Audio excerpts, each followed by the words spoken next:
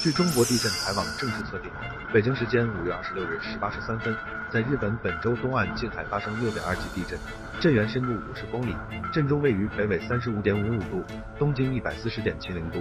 震中三百公里范围内有一座大中城市最近为东京距震中约八十二公里。